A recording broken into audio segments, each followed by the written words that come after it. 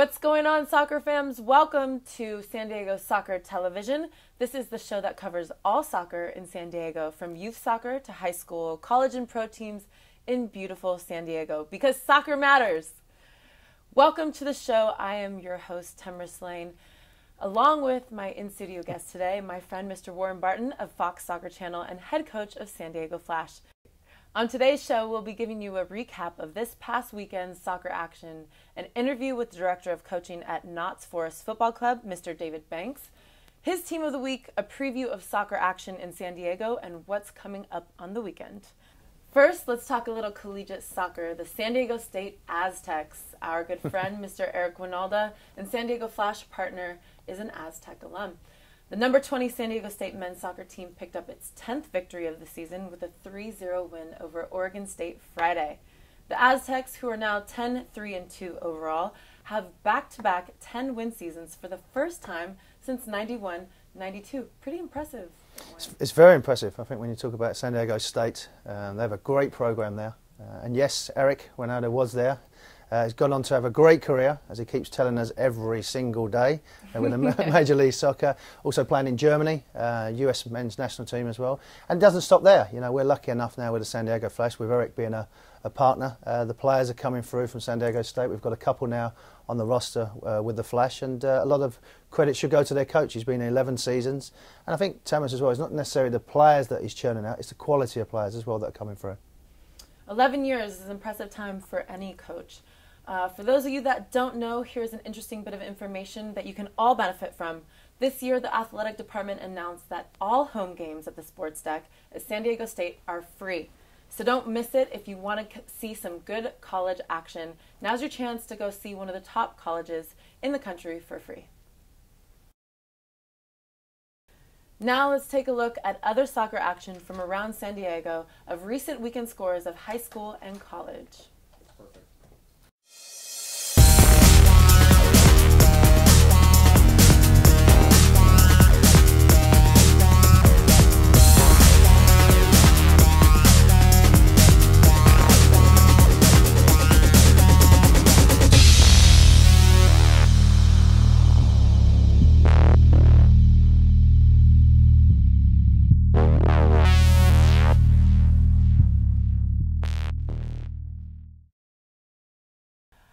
Next up, we'd like to welcome in David Banks, who's the Director of Coaching for Notts Forest Football Club in Clairemont Mesa, and his team of the week.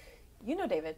Yeah, I do. Uh, he's been a great guy and he's helped us immensely with the, the San Diego Flash, his philosophy that he has with the club, the kids, uh, and also his ideas going forward. I think he's been a great asset to the, the club where he is and particularly the area. Clairemont have, uh, have really benefited from David being around.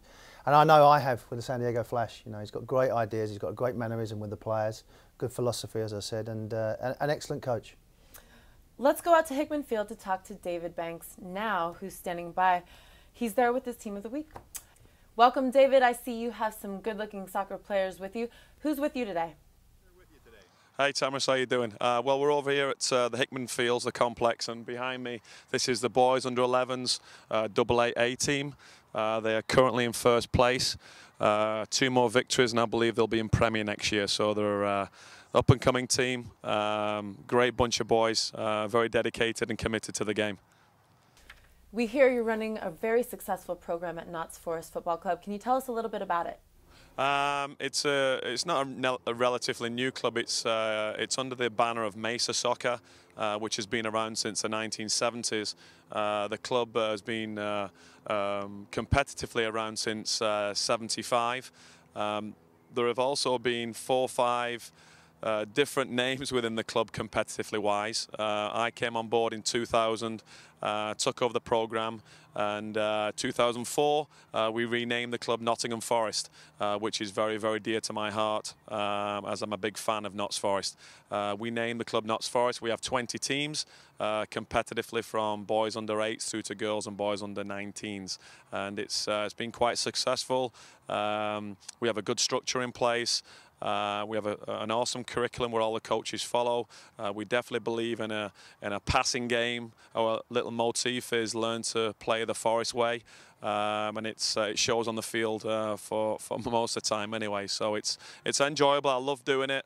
Uh, make some great people on the way. Parents are fantastic. We have some awesome volunteers within the club, and that's what makes this club very special. Thanks, David. Now we have with us our player of the week, Kimo Ferrari. Kimo, tell us how you like playing for Notts Forest. Hi, playing for Notts Forest Football Club is really fun. You get all these great coaches, and the kids are really good here. And Kimo, what do you love most about playing soccer? Soccer is a team sport. There's no I in team, and you always win and lose together. Hi, Kimo. This is Warren. Uh, how did you start in soccer? I started playing soccer when I was only four years old at Mesa Rec, and it led me here to Notts Forest by being picked by an all star team. And then the coach called me back and asked if I wanted to do a tournament with him, and I just started by doing that tournament, tournament by tournament. Then it led to the season, and now I'm here. I never played midfield, but what's it like playing in centre midfield? Playing center mid is really fun. You get to run a lot, always on the ball, near the ball, and you just get a lot of playing time in there. Hmm. Yeah, you've got to be pretty crafty to, to be a center midfielder and have a good field of vision. Um, but most importantly, you got to get to practice. So who's bringing you there, Kimo?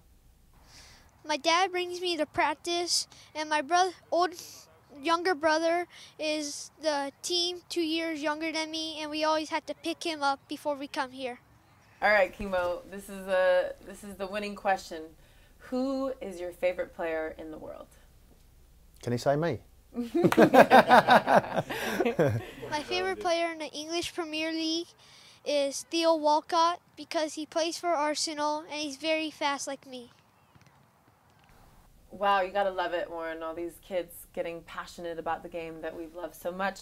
Kimo, thank you so much for telling us about your soccer life. Now it looks like we have some of your teammates standing by. Boys? Hi, Demris! Uh, all right, so I'm going to ask the rest of you boys out there. I asked Kimo already, who is your favorite player in the world? Lionel Messi. Leonardo Messi. Cristiano Ronaldo. Neymar. Didier Drogba. Clint Dempsey. Lionel Messi. Javi Hernandez. Landon Donovan.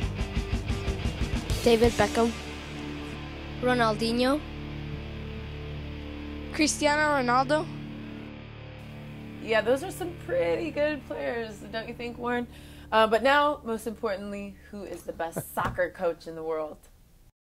David Banks! Well, there you have it. Huge thanks to David Banks and Notts Forest Football Club for joining us on SD Soccer TV. For anyone looking for a great soccer club, consider joining Notts Forest Football Club in Clairemont Mesa. You can find out more and a link to their site on our website, sdsoccertv.com. Next up on the program, we have Nancy Castro out and about in San Diego, ready to tell us about the upcoming season of the San Diego Sockers indoor pro team. Nancy, what do you have for us?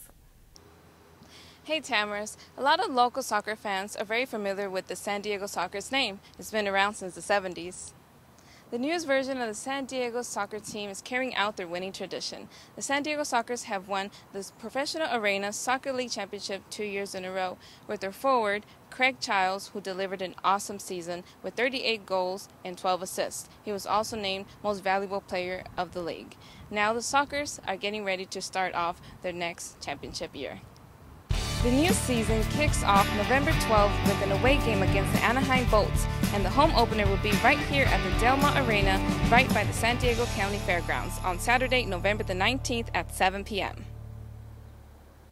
Thanks, Nancy. Two time champions right here in San Diego, Warren. Pretty awesome, right? Yeah, very impressive. I've been to a, a couple of their games last season, and the reason they're doing so well is they're very competitive, they're strong, great atmosphere as well. Great little arena that they have at Del Mar. Um, get a good crowd. Um, I know my kids have gone down there to watch them, and Matt Long continue because uh, indoor soccer is totally different to what we have at the Flash, so it's good. It's pretty awesome environment, as I understand it. Those indoor uh, football matches. So definitely go check it out. If you would like ticket information, you can find a link to their website at sdsoccertv.com. Next up on SD Soccer TV, do you want to know what's happening with local soccer this weekend? We have all the info for you here.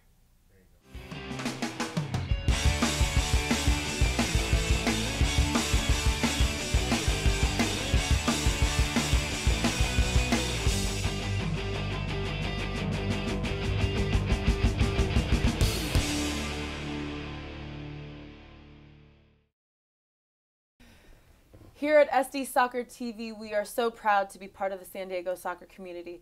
And with us today, we have one of our community leaders, Ilka De Leon, who is the founder of the Atlapa Foundation. Can you tell me a little bit about your foundation? Thank you for having us, Temryss. The Atlapa Foundation is a 501c3 nonprofit. And essentially, our objective is to make sure that we can improve the opportunities for college admission for student athletes. So that's our target demographic is student athletes in San Diego. And uh, we do that by making sure that we can provide them with that gap service between what parents are offering, coaches are offering, and what their instructors are offering. And so we come in and we're complementary to that process. And it really is a, a job being a student athlete myself. Um, it has been something that you have to continue to work on. So Absolutely. it's amazing that you're providing those skills. And how are you currently implementing your program? So what we do is it's a pretty simple format. Uh, we partner up, of course, as I mentioned, with those three big entities in a student's life, right? And mm -hmm. so we have to make sure that we balance the time. So we find a slot for one hour a week that fits with the student's schedule and it doesn't, of course, tax them even more so, because uh, of course, being an athlete as well, uh, it's it's a lot to balance. But we make sure it's a one hour a week, and we part partner them up with an enrichment instructor that comes to whatever location is uh, supportive and comfortable for the family and the student. It could be your home, it could be the library, it could be the coffee shop down the street, and um, we do it once a week, every week. We mirror the school year, and essentially we develop a long-term relationship between the two that allows us to uh, drive home our concepts. So you have a, a, base of instructors now. Are these instructors generally former student athletes? Uh, how do you choose your instructors? Absolutely, 100%. It's really important that people understand the rigors of being a student and being an athlete. And especially when we've got athletes, of course, mm -hmm. that are very hard on themselves. They, you know, they strive for the best. We want to make sure that we've got someone paired up with them that has also gone through that. So our enrichment instructors are all California credentialed and actively credentialed teachers, and they also are, of course, athletes. They, it's a requirement that they have gone through uh, some sort of athletics throughout all of their college career, um, hopefully as well, including high school, and subsequently as a, a, working, functioning adult in society, we want to make sure that they continue that athleticism so that it's part of their lives and they have an opportunity to understand students a lot more from that perspective. So go through this again for me. Tell me what the prime objectives at the Atlapa Foundation are our main goal is getting students into college and what we want to do is improve their opportunities. So our enrichment program allows us to, as I mentioned before, just fill those gaps where parents, teachers, and coaches are doing the best they can, but they can't reach those nooks and crannies, mm -hmm. and that's what we come in to do. By doing that once a week, we essentially develop some really good habits in our students that allow them to improve their candidacy for college admission and our goal is to get them there and keep them there so that the skills that they learn in time management, mm -hmm. which we all had to struggle with, mm -hmm. of course, getting in, um, and uh, just balancing the workload just works out. You know, I know that being a student athlete truly is a full time job. Mm -hmm. So it's amazing that you're offering these skills and this instruction for future, uh, I guess, community leaders. Thank you. Thank you so much for coming and stick around for more SD Soccer TV. Thank you for having us. Thank you for joining us on SD Soccer TV. A big thanks to my guest, Mr. Warren Barton. I'm Temryss Lane. Make sure you tune in next week for all things soccer San Diego because soccer matters.